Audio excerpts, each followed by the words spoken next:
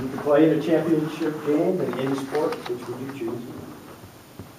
It's a pretty good topic, table topic master, but I actually like the one that Eric got and did not use, so I'm Making a brand new sport. Uh, Many, many years ago, when I was teaching over at Eastmont, we had a teacher who had to leave uh, for a whole semester for medical reasons. We had to reshuffle our entire English department schedule. And I don't know how this happened, but I ended up with the creative writing class.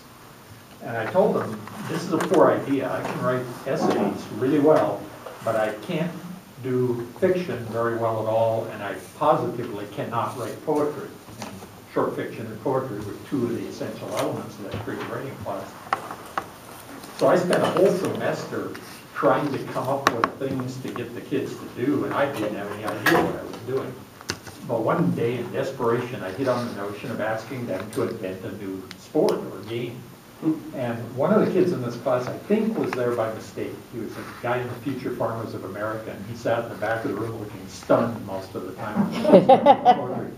But he came up with the most phenomenal game I've ever heard of. Bulldog smoke ring blowing. And the way it worked is that you would sit in a chair with a bulldog clamped between your knees. You'd stick a cigar in the bulldog's mouth and then pop the dog with your knees. And the idea was to measure the size of the smoke rings. And I thought, how ingenious. I mean, it combines a whole bunch of great things that everybody loves, you know, animals and fine cigars and contest aspects too. And I thought, actually, I'll bet people would pay money to see bulldogs smoke ring me up.